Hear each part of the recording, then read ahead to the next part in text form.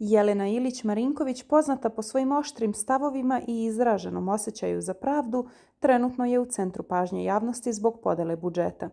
Njen savjet Nenadu Aleksiću ša da pronađe devojku svojih godina je izazvao pravu buru reakcija, a izuzetno surova bila je i prema ostalim ukućanima, koja ima je govorila svoje iskreno mišljenje. Ša, srednji budžet, jako si spontan i inteligentan.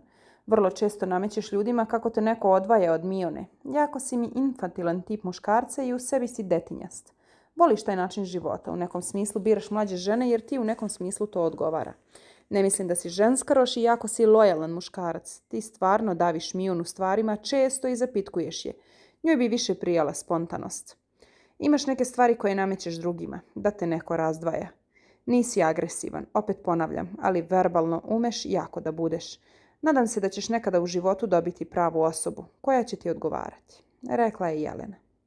Inače, Jelena Marinković napravila je haos na početku podele budžeta na kojoj se posvađala sa Neli Ahmić, a zatim nastavila da komentariše cimere.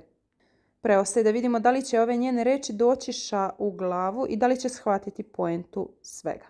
Da li će potražiti drugu devojku ili će i dalje smarati Mionu, preostaje da vidimo.